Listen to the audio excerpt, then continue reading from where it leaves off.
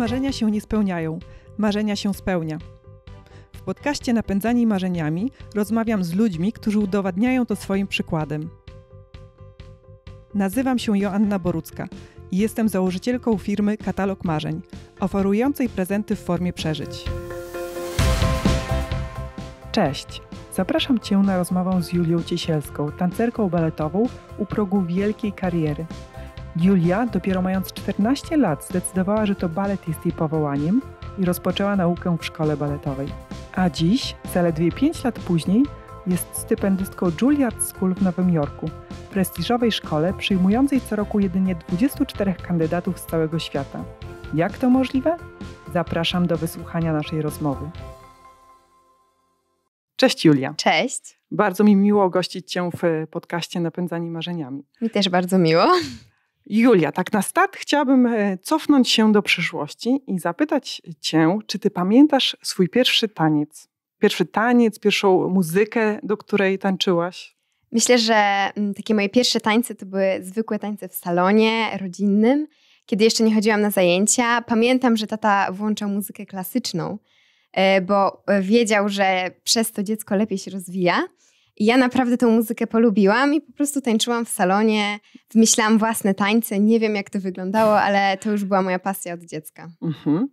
I od dziecka, bo bardzo szybko tą pasję przerodziłaś z takiego tańca domowego, salonowego w taniec bardziej, nie wiem, czy mogę powiedzieć profesjonalny, ale na pewno amatorski i regularny e, bo zapisałaś się do szkoły tańca. Yy, tak, rodzice zapisali mnie do zespołu Spin yy, Mosir w Rumi. E, I to e, było dla mnie piękne dzieciństwo, ponieważ e, robiłam to, co kochałam, chodziłam na zajęcia. To był głównie taniec współczesny i modern. Jeździłam na zawody z moimi koleżankami i naprawdę rozwijałam swoją pasję.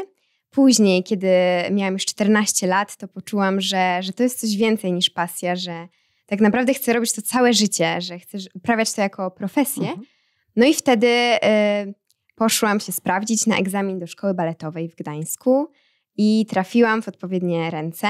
E, dostałam się do piątej klasy. E, poszłam tam jako czternastolatka, a zazwyczaj do szkoły baletowej przychodzą dzieci w wieku 9 lat. Więc Właśnie. miałam, to było dla mnie duże wyzwanie, miałam zaległości do nadrobienia, e, ale mm, trafiłam i to było dla mnie wielkie szczęście pod, y, pod opiekę świetnych pedagogów, trafiłam do bardzo dobrej i ambitnej klasy. E, I to też mnie bardzo zmotywowało i no, pracowałam ciężko, żeby nadrobić te zaległości. Mhm. Jak się nadrabia takie zaległości? Bo potrafię sobie wyobrazić matematykę, historię, geografię, czy jakiś bardziej specjalistyczny przedmiot, który polega na nauce, tak, na mm, zapoznawaniu się z konkretnymi treściami. A jak się nadrabia zaległości w tańcu? E, podczas e, lekcji tańca nauczyciele i pedagodzy dadzą dają mi wiele mm, uwag, e, no to e, później po lekcjach zostawałam dłużej na sali, czasem do późnego wieczora. I pracowałam nad tymi mhm. uwagami. Ćwiczyłam również ćwiczenia wzmacniające na mięśnie, pilates czy wzmacnianie na odnowie biologicznej. I pracowałam nad tym, z czym miałam jeszcze po prostu problemy. Mhm. A jak to było z rówieśnikami? Bo oni już te 5-4 lata wcześniej e, zaczęli? Czy patrzyli na ciebie jakoś inaczej, czy, czy to raczej było wspierające otoczenie? To było bardzo wspierające otoczenie. Jak przyszłam, poczułam e, taką ciepło, poczułam ciepło i takie wsparcie mhm. z ich strony. E, na pewno bardzo mnie inspirowali, ponieważ byli naprawdę świetni. Moja klasa była naprawdę dobra. E, no i o wiele lepsza. Ja byłam na szarym końcu, nie umiałam tego, ale miałam przynajmniej kogo obserwować, kim się inspirować. E, często czułam, że mi pomagają, więc to było piękne i bardzo dobre otoczenie. Mhm. Pytam się o to, pytam się ciebie o to, dlatego że wokół e, baletu myślę, że jest wiele mitów, pewnie trochę pochodzących po prostu z filmów i to są mity między innymi dotyczące rywalizacji, więc to był mhm. taki kontekst mojego pytania, ale to są też mity o wyrzeczeniach, ciężkiej pracy, o tym, że um, nie ma czasu na znajomych, na inne hobby, że w cudzysłowie trzeba się katować dietą. Jak to jest tak od środka? E, wiele mitów nie są e, prawdziwych, ale myślę, że każdy ma jakieś tam ziarnko prawdy. Jeśli chodzi o dietę, to to zależy od osoby, ale uważam, że każdy tancerz powinien zdrowo się odżywiać, bo to po prostu pomaga, bo zdrowe odżywianie daje nam siłę, energię i przynosi po prostu lepsze efekty. No i to jest oczywiste, że trzeba trzymać hmm. sylwetkę. E, jeśli chodzi o rywalizację, to zawsze jakaś mała jest. Myślę, że są, e, można znaleźć przyjaciół, którzy są szczerzy. Ja takich znalazłam i to było bardzo e, potrzebne, żeby mieć takie wsparcie. Ja myślę, że rywalizacja jest też czymś e, pozytywnym, bo tak naprawdę wzajemnie się motywujemy, inspirujemy, prawda? Więc tutaj chodzi o to, żeby ona się nie przeradzała w coś takiego w zawiść, można tak powiedzieć, zazdrość tak, wobec innej osoby. Tak, ja myślę, że zdrowa rywalizacja jest bardzo dobra. Czym jest się lepszym, tym jest mhm. więcej tej rywalizacji. No i zdarzają się osoby, które mm, no widać, że to nie jest taka zdrowa rywalizacja, tylko po prostu ta zawiść. Mhm. No dobra, ale jak jest z tym czasem e, wolnym i tą ciężką pracą? Ile godzin e, dziennie, ile dni w tygodniu spędzałaś, spędzasz cały czas na sali ćwiczeń? W szkole miałam zajęcia od poniedziałku do piątku, czasem również w weekendy. Ja mieszkam w internacie, co pozwalało mi zostawać y, na sali baletowej do późna. Mieliśmy rano zazwyczaj zajęcia ogólnokształcące, później zajęcia taneczne. To było mniej więcej 5 godzin, plus to były też repertuary indywidualne. Zostawaliśmy też sami na sali, ambitniejsze osoby i ćwiczyli samemu. E, wieczorami chodziliśmy na odnowę, żeby się regenerować. Chodziliśmy na masaże, rolowaliśmy mięśnie, e, wzmacnialiśmy się. E, no i wieczorami również się rozciągaliśmy, no i odrabialiśmy lekcje do późna w nocy, więc tego czasu rzeczywiście jest bardzo mało, jeśli się, jeśli się ciężko pracuje. Mhm. A weekendy? W weekendy często soboty mieliśmy również zajęte zajęciami. No i to jest prawda, że trzeba było jeszcze się trochę uczyć, trochę przygotować na kolejny tydzień. E, ale zawsze znajdowałam e, w tej weekendy czas dla rodziny, na odpoczynek, więc dało się znaleźć ten czas. Czujesz, że coś ci umknęło? Żałujesz, że tego czasu wolnego nie miałaś? Czy, czy nie? Czy wręcz odwrotnie? Nie, ja totalnie nie żałuję. E, uważam, że to był dobrze poświęcony czas. Ja mam bardziej takie uczucie, że zawsze jest mi mało, że wiem, że mogłam jeszcze ciężej pracować i jeszcze więcej tego czasu poświęcić na treningi. Mhm. Bo przygotowując się do naszej rozmowy, zapoznałam się trochę swoją, z Twoją historią i widziałam, że poza taką nauką w szkole brałaś udział w szeregu różnych e, takich dodatkowych warsztatów, kursów. E, I czy to było tak, że Ty aktywnie, samodzielnie właśnie wyszukiwałaś tych możliwości? To były warsztaty i w Polsce, i za granicą? Czy to jest tak, że szkoła, szkoła tudzież inne szkoły wyszukują e, młodych talentów i proponują uczestnictwo w takich warsztatach? E, w moim przypadku ja sama wyszukiwałam warsztatów, żeby te wakacje też aktywnie spędzić i zainspirować się również osobami z zagranicy, z innych szkół. Uważam, że takie warsztaty są naprawdę ważne w rozwoju, ale czasem zdarzało się, że można było dostać warsztaty z konkursu. E, ja dostałam na przykład zaproszenie do Japonii na projekt Młody Duch Tańca, więc też z różnych źródeł się o tych warsztatach dowiadywało. Mhm. I w którym momencie pojawiło się w Twojej głowie taka myśl o tym, że można sięgnąć po coś więcej, po coś spektakularnego, tak spektakularnego jak e, stypendium, czy w ogóle edukacja w bardzo prestiżowej szkole Juilliard School w Nowym Jorku? Zawsze gdzieś tam w głębi serca o tym marzyłam. To było gdzieś tam z tyłu głowy, ale to była taka mrzonka, nie wiedziałam, czy to może być realne.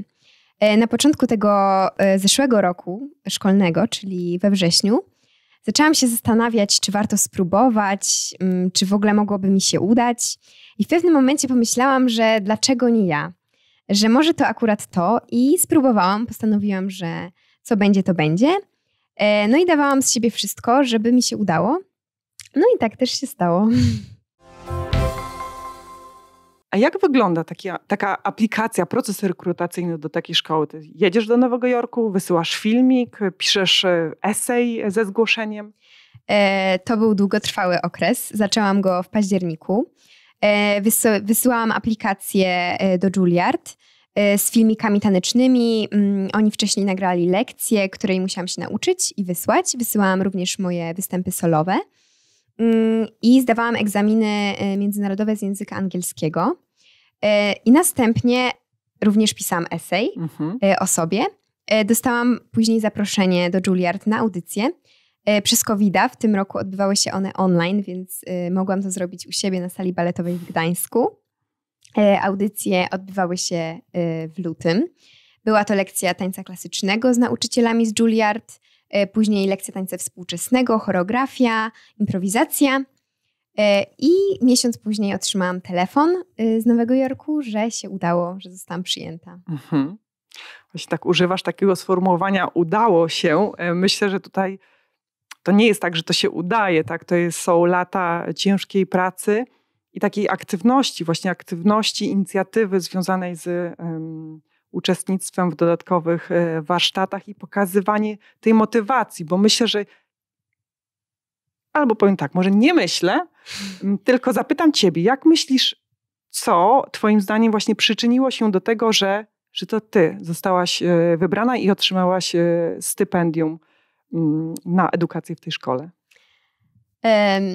Myślę, że to jest wiele czynników, które składają się na ten sukces, ale przede wszystkim myślę, że oprócz tej techniki, która jest y, niezbędna w tym zawodzie, trzeba pokazać, że ma się coś więcej, że ma się w sobie tą pasję, to zaangażowanie i, i ten artyzm, żeby po prostu pokazać potencjał na dalszy, na dalszy rozwój. Mhm.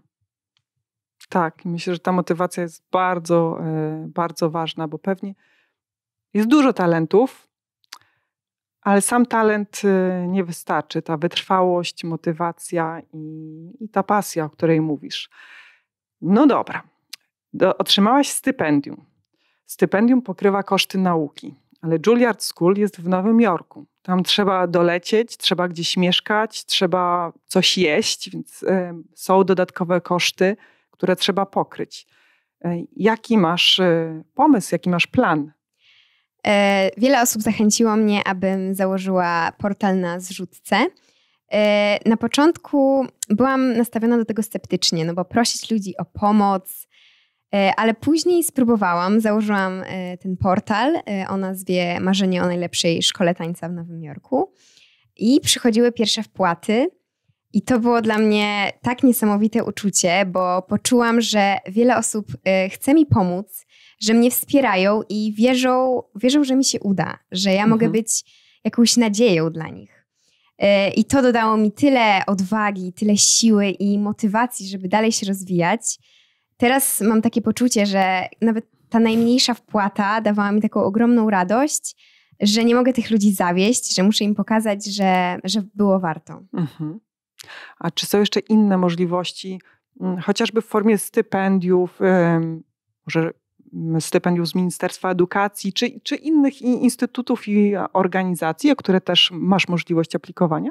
E, aplikowałam w wiele miejsc i niestety często się nie udawało, ponieważ e, nie ma takich procedur, żeby mnie w ten mhm. sposób wspomóc. Ale otrzymałam e, kilka takich małych stypendiów, czy to z mojego miasta Reda, czy od marszałka województwa pomorskiego za na przykład lot do Nowego Jorku. Więc było takich parę instytucji, które w jakiś sposób mi pomogły. Mhm. Wyjazd już niedługo, prawda? Tak. Od, od dziś licząc, no może nie będziemy tak precyzyjnie Niecały podawać. miesiąc. Właśnie, niecały miesiąc. E, czyli trzeba działać, drodzy słuchacze i widzowie. E, podlinkujemy do tej rozmowy e, Twoją e, zrzutkę, bo dla mnie to jest e, niezwykłe. W ogóle jest to taką bardzo pozytywne, że można wesprzeć kogoś w, w realizacji marzeń, dlatego że to skrzydla także mnie po prostu, tak? E, ja wpłaciłam e, na, na Twoją zbiórkę i, mm, i takie mam poczucie, że jak Ty tam pojedziesz, ja będę mieć swoją taką malutką cegiełkę właśnie e, w tym wyjeździe i to jest taki duży, duża satysfakcja po prostu. Także zachęcam bardzo serdecznie. A czy wiesz, co dalej? Co po Juilliard School? Czy masz takie marzenie, które no jest gdzieś tam e, jeszcze dalej? Czy chcesz o nim, e, możesz, e, chcesz o nim mówić? W Juilliard mam nadzieję, że rozwinę swoje skrzydła. Myślę, że tam na pewno się uda, ponieważ jest to wspaniałe miejsce na rozwój wśród tylu artystów. Później chciałabym tańczyć dalej, e, dostać pracę w dobrym teatrze, w którym będę mogła dalej rozwijać się jako tancerka i jako artystka e, i tańczyć na światowych scenach, jeździć na turnę, zwiedzać świat i, i ciągle tą pasję swoją rozwijać. Jest ktoś, kto jest takim dla ciebie wzorem do naśladowania, kogo, um, kto cię inspiruje? E, wśród tancerzy i sportowców mam bardzo wiele inspiracji, ale zawsze staram się podążać własną drogą i tylko w, tam, w mały sposób się nimi inspirować i bardziej motywować mhm. ich, ich pracą i zaangażowaniem, ale jednak iść własną drogą. Tak, zaakcentowałaś słowo sportowców. Co sport ma wspólnego z tańcem baletowym? E, balet to sztuka bardzo piękna, ale to jest również ciężki sport ponieważ tancerze, mimo że wyglądają lekko na scenie i że to ich nic nie kosztuje, to jest ciężka praca, więc musimy się wzmacniać i ciężko e, pracować, ćwiczyć e, treningi siłowe, rozciągać się i to jest e, tak samo jak sportowcy. Mhm. Całe dnie na to poświęcamy, żeby nasze ciała były zdolne jak najdłużej tańczyć. Więc myślę, że taniec to jest sport. Mhm. A czy masz takie momenty zwątpienia, chwilę, że chwilę, kiedy czujesz, no dobra, chciałabyś, ale to jest za trudne, za ciężkie i po prostu nie dasz rady i chyba trzeba odpuścić. E, często. Myślę, że każdy ma chwilę zwątpienia i to zdarza się zawsze, ale potem się uspokajam, e, jeszcze raz to e, mogę przemyśleć i jednak nigdy nie odpuszczam i, i walczę dalej. Macie w szkole zajęcia, czy, czy mieliście w szkole zajęcia z psychologiem? E, mieliśmy nie tak regularnie, ale mieliśmy zawsze warsztaty z psychologiem sportu i myślę, że to jest bardzo ważne, ponieważ e, uważam, że wszystko jest w głowie i że jeśli e, wierzymy w siebie i mamy dobrą motywację i pewność siebie, to, to jest o wiele łatwiej realizować te swoje cele. Mhm. No właśnie, a propos tego, że wszystko jest w, w, głowie, ja przed każdą rozmową mam wciąż tremę, pomimo tego, że przeprowadziłam ich e, kilkadziesiąt. E, czy to jest tak, że ty przed każdym występem, udziałem w konkursie też masz tremę, czy może nie? E, mam tremę zawsze, w szczególności przed konkursami, ponieważ wiem, że jestem oceniana i co najgorsze porównywana do innych. A ja uważam, że każdy jest inny i to jest piękne. I czasem nie można po prostu porównać tancerzy, bo każdy ma w sobie coś indywidualnego ale mm, staram się zwalczyć tę tremę, słuchać się w muzykę, w emocje i po wyjściu na scenę po prostu o niej zapominam i staram się tylko myśleć o tej tremie pozytywnie, że to jest taki kop y, energii na, na scenę. Mhm. Dla mnie to jest no, niezwykłe jest, teraz stają mi przed oczyma twoje e, filmiki i właśnie niezwykłe jest to, jak dużo, że człowiek oglądając taniec, słuchając muzyki, która mu towarzyszy, w środku czuje różne e, rzeczy. To jest e, coś, co cały czas mnie zadziwia i zastanawiam się nad mechanizmem, który e, to powoduje. Mm, I, ja rozumiem, że w tym jest też sens tańca, tak? I tej sztuki właśnie, żeby przekazać te emocje. Tak, ja też tak uważam. E, myślę, że umiejętności techniczne są potrzebne, by ten taniec był jak najpiękniejszy, ale sens e, tego tańca jest przekazaniem, przekazanie widzowi tych wszystkich emocji, które ma tancerz w środku. Jeśli widz e, nie widzi tylko tych umiejętności technicznych, tych popisów tanecznych, mhm. a odczuwa te emocje, co tancerz, to to właśnie jest sukces tancerza. Mhm. A czy do tego, czy tego da się nauczyć, czy to raczej płynie z wewnątrz? Czy to jest tak, że no tak jak aktorzy mają różne ćwiczenia, żeby umieć oddać smutek, radość, ból, rozpacz, czy tancerz też y, ma ćwiczenia, żeby właśnie oddawać różnego rodzaju emocje? E, myślę, że tak. Trzeba po prostu coraz y, bardziej i więcej otwierać się i skupiać się właśnie na tej nie tylko muzyce, nie tylko technice, ale na tych emocjach, żeby je pokazywać jak najbardziej. Mhm. Myślę, że to jest mhm. takie przełamanie barier, żeby po prostu nie wstydzić się, wyzwolić się i pokazać, co się ma w środku. Przełamanie barier e, i wychodzenie ze strefy własnego e, komfortu to są słowa, które padają w wielu rozmowach mm, i padają też słowa o odwadze. I myślę, że odwaga jest właśnie takim elementem ważnym do tego, żeby realizować e, swoje marzenia. Ja też tak myślę. Bez odwagi nigdy się nie dowiemy, co by było, gdybyśmy spróbowali. Mhm. A jeśli odnajdziemy w sobie tą odwagę, tą siłę, to, to zawsze się przekonamy i myślę, że zawsze pozytywnie.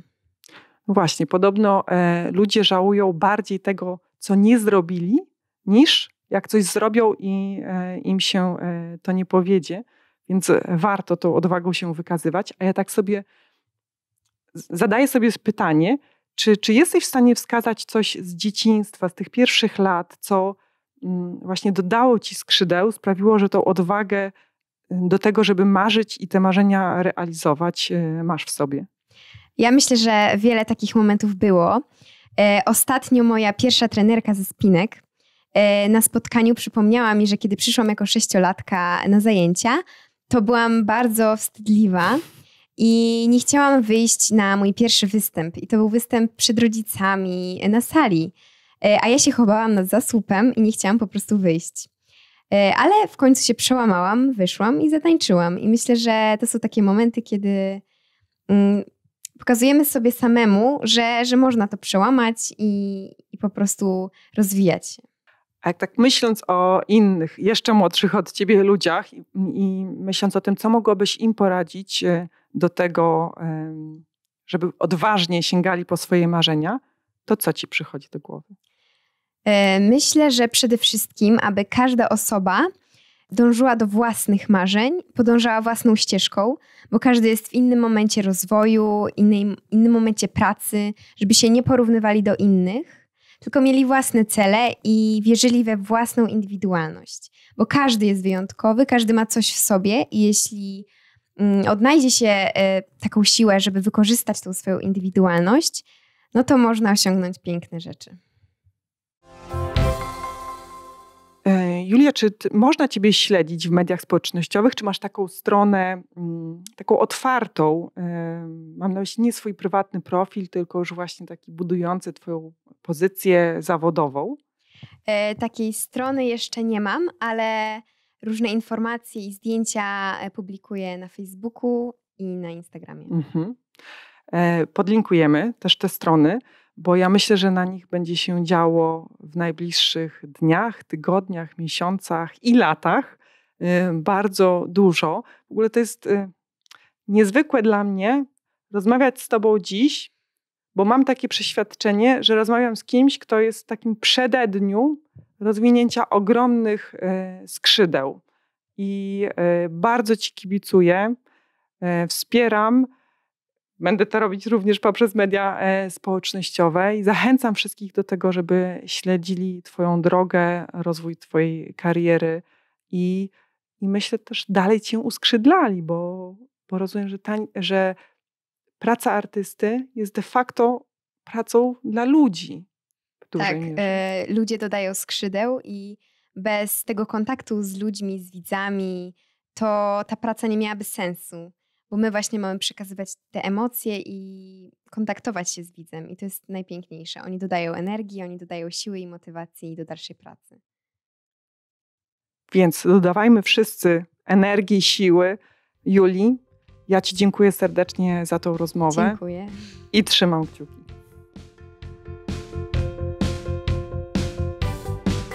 Jestem pod wielkim wrażeniem siły pasji Julii.